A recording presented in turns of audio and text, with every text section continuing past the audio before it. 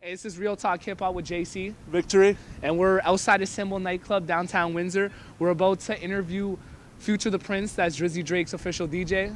Yeah, we got a, a big interview set up for him. We got to ask him a few questions. He's been on tour to places such as Atlanta, Dubai, Brazil. Uh, we're just gonna go in depth with him in the in the next few uh, hours, and we got a lot to s- lot to talk to him about. So he's down here for Windsor Sports Weekend. We're gonna get in here. We're gonna have a video interview, and you can catch the audio clip Monday at midnight on Real Talk Hip Hop on 99.1 CJAM FM. It's Real Talk Hip Hop with JC. Victory. And we got a special guest today. We got Future Da Prince, Drizzy Drake's official DJ. Yeah, so we do, uh, yeah, you like that? How you, how you like the Windsor? Good, man. Yeah, yeah. Yeah, this place, Canada, anywhere in Canada that could be, I haven't been here much, so. So here for uh, Sports Weekend? Yeah. And the DJ on some uh, scratching. Uh, yeah, I did last night. Did Yeah. party last night and, How was uh, how was Thursday's uh, Bill Clinton fundraising? Doing good. uh, it was cool. I mean, it's, it's, it was a foundation with charity. It was quick, like we did five songs or whatever, but it, it was just good to be a part of it, you know, the energy. Did you get to meet uh, ex-president? Yeah, Yeah, that's cool. Yeah, yeah, we're hanging out. So I watching a few videos of you on YouTube, and uh, I was just I, I didn't know how much how was the uh, Light Dreams and Nightmares tour?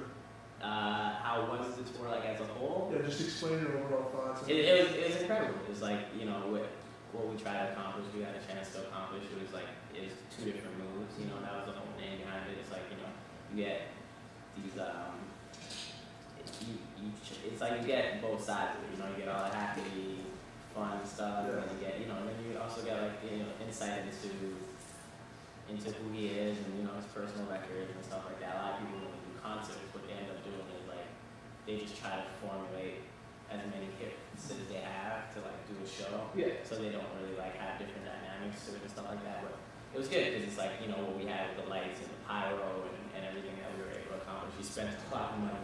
Yeah. a How lot was it? more money than he should have, but it, was great.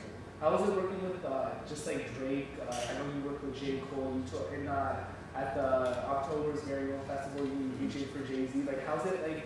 Just one moment you're in Toronto, and then the next moment you're just DJing for all these like great hip hop lyricists. Uh, it, well, I mean, it stems from the great. The great part about it is also it all stems from our show, right? Yeah. So it's like it's like everybody. It's, it's great to see these different acts and these different artists coming into like our world and what you know what Drake's been able to create in terms of you know a lot of people don't know this, but he is in every phase of this show. Like he he does the set design. You know he gets with his guys and we do the set design. Everybody he gets involved with the set design. He gets involved with the lighting. Gets involved with you know the cues and and how everything is set. Like in, in terms of where the everybody's positioned, where the lights are positioned he's in every step of it. So it's like it's great to see when people come into like our space and, and perform. So it's, it's easier to work with them once you're you know they're in your space. So it's like it's cool. Like Cole is Cole's a great guy to work with. You know, obviously that OVO Fest was like probably the most incredible show. Too. Yeah. You know? Yeah. I have a my brother lives in Toronto. You can check that out. It's Yeah. cool. Yeah. And you you were on set of the uh, Aston Martin music video. Mm-hmm. You worked with uh, DJ Khaled, you got to meet him, and you worked with your uh, good friend Drake Mm-hmm. and uh, Rick Ross as well. Just explain your overall thoughts on that. How, how was that?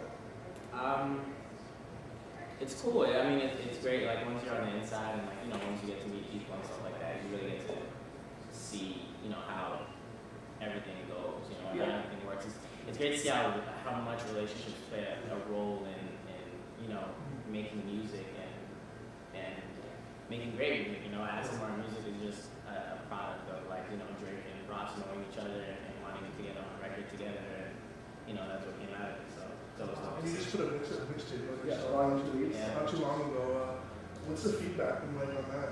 Uh, that's always good. I mean, what I try to do is, is give people the whole goal with that mixtape is just to give people something to listen to in their cars and their homes. And, you know, I'm not, I haven't been big on, you know, a lot of people feel like mixtapes, like you gotta put a whole bunch of new records that nobody knows and exclusive records and stuff like that. Like, yeah, that's cool, but it's like those, those records don't even, you know, last long. Yeah. It's like you, you put a mixtape out and it gets dated if you just try to put as much, you know, new, new, new material that people don't know it. So what I try to accomplish with the mixtape is like, you know, give everybody all the songs they love and, and to and, and, and love to enjoy all in one place so that they can put it in and, and they know exactly what they're getting. So yeah, and like not to focus on Drake. Right now, I want to focus on you, the DJ. Like, growing up in Toronto in the hip hop scene, like how would you describe Toronto hip hop scene?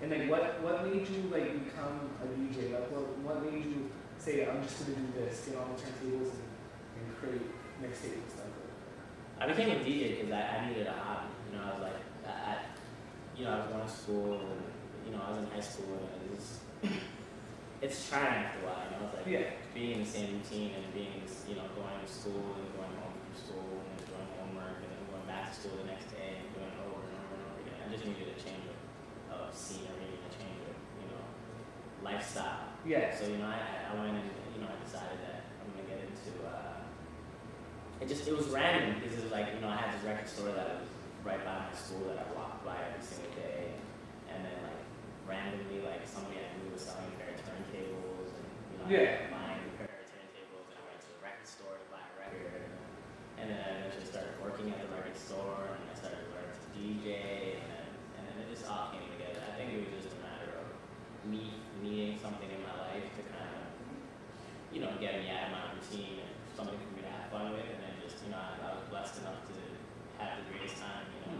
Was there any like specific DJ or like uh, a person you looked up to that kind of made you want to pursue it some more? Like uh, I know the originator of DJ Kool Herc, like he, the the, the originator, like the founder of this hip hop, so he's a DJ. So they like, is it important for other DJs too to know the history? Because DJing is an important aspect of hip hop. I, I don't know. I, I like, you know, I, I would sit here and try to be philosophical and people would make sense of, you know, what people should be able to do or shouldn't do. But my whole thing is like, as long as you're having fun and enjoying it, like, I don't see how, if it's not going to affect you in any way, because there's some people who like consciously try to find out the history of DJing and, you know, where it started, and the history of hip hop, and, you know, and know the roots of things. And, but, you know, they're doing it for their own, you know, enjoyment Yeah. and their own whatever they, you know, get out of it. But then, you know, there's just some kids that really just, you know, grew up and 50 Cent was their favorite rapper, you know?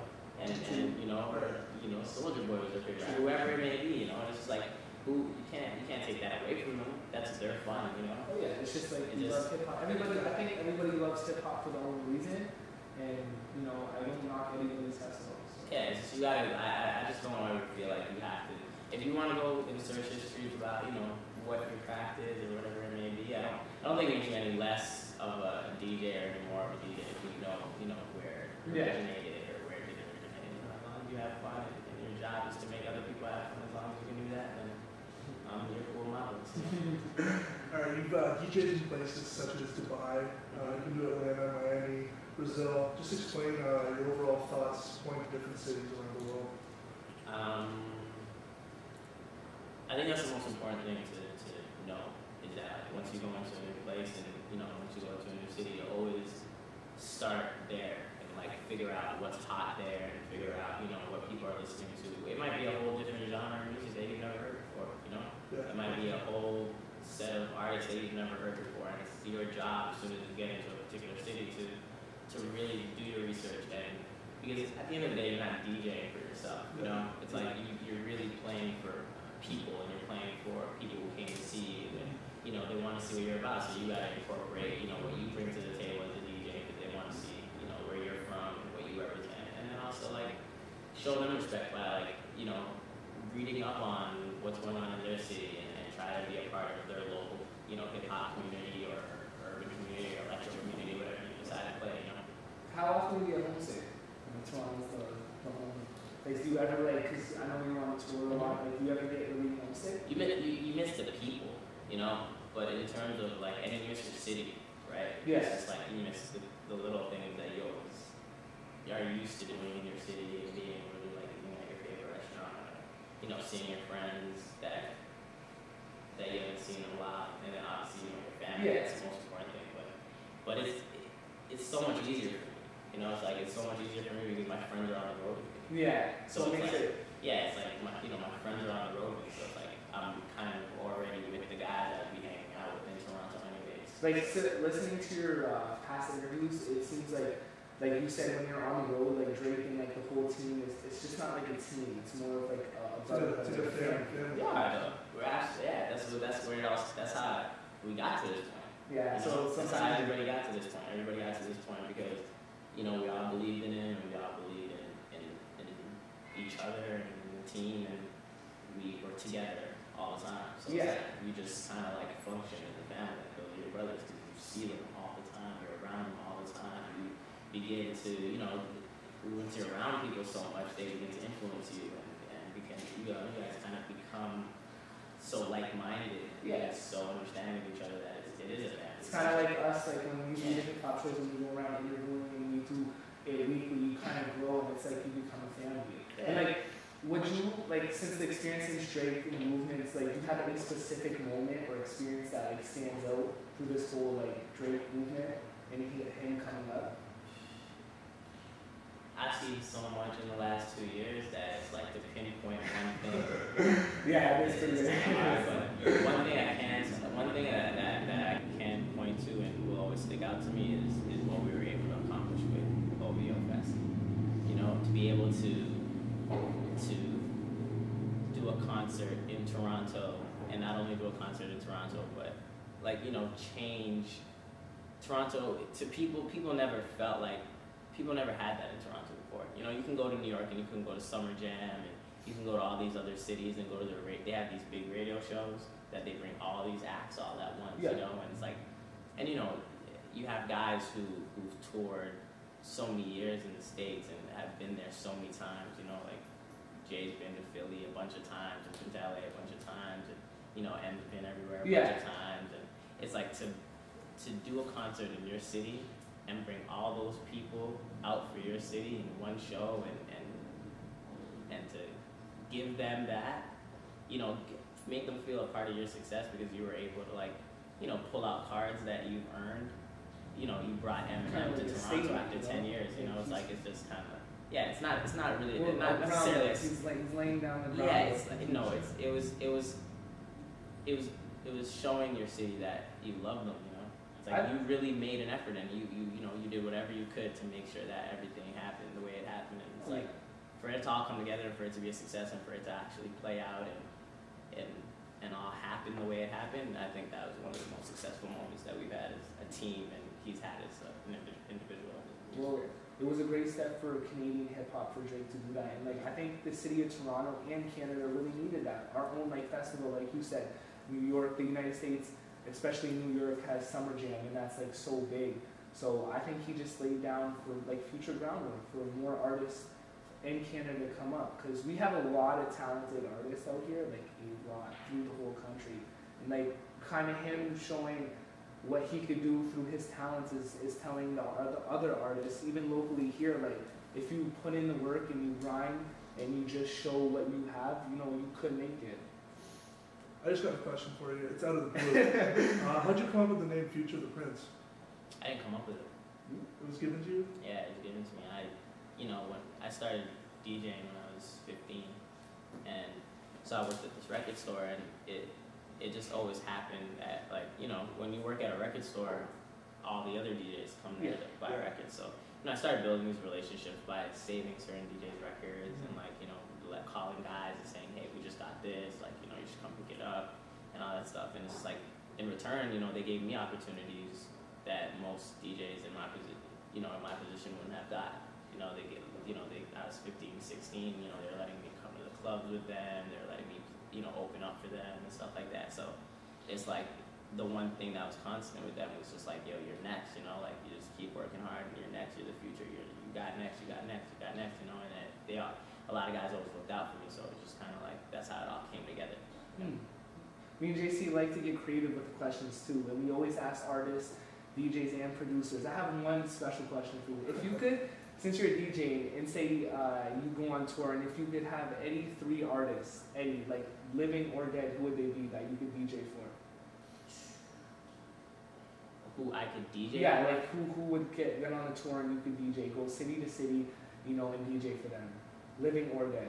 Just three, just Okay, artists. so there's a difference. If I could DJ, if I could go on tour with them, or if I could Yeah. do one show. we could do going one on show. tour We could, whole- could, we'll say go. We, we could do one show.